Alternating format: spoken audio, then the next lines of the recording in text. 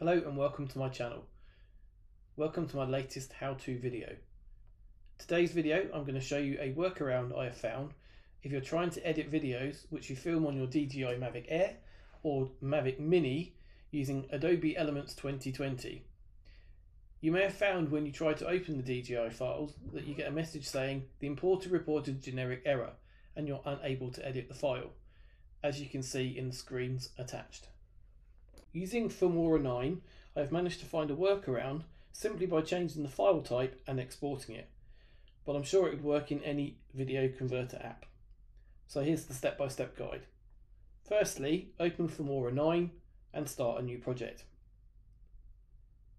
Import the original DJI file from the drone.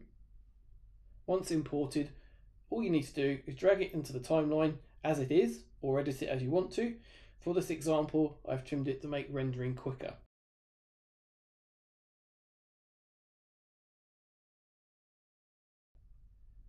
Once you are ready, simply click export and choose the MP4 format. This one is in 4K.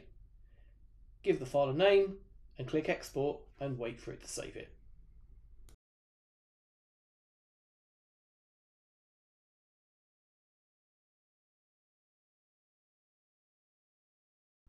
Once the file has been created, you can return to Adobe Premiere Elements 2020. This time, when you try and open the new file created in Filmora 9, you can see it successfully opens the video. This means you can now edit it and do whatever you'd need to do using Premiere Elements 2020 without any errors. I hope this video helps you. If you like it, please click like and consider subscribing to my channel for more videos. Good luck and thank you for watching.